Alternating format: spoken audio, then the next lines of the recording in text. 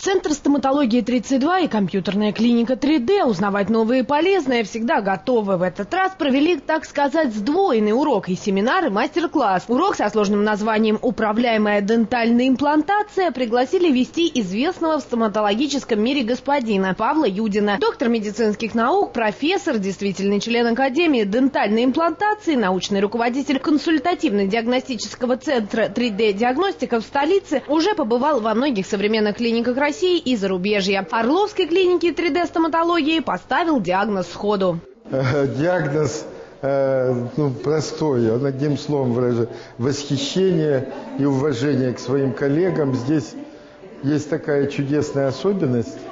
Вот э, я, как мужчина все-таки зрелого возраста, хочу вам сказать, что ну, в эту клинику влюбляешься как в ее основателей и руководителей. Настоящее будущее дентальной имплантации ученикам, среди которых ведущие стоматологи Орла и Центрального Черноземья, показали, что называется наглядно. Благо, на базе компании 32 есть компьютерный томограф, главный помощник стоматолога будущего. Эм, диагностика сама, она имеет свое продолжение.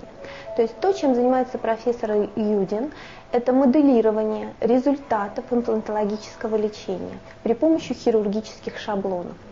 Э, снимок, который делается у нас в клинике, мы отсылаем его в лабораторию и получаем уже э, прогнозируемый результат в результате этой имплантации. То есть пациент, еще не делая ничего, он уже имеет представление, что будет у него после прохождения э, этапов протезирования и имплантации.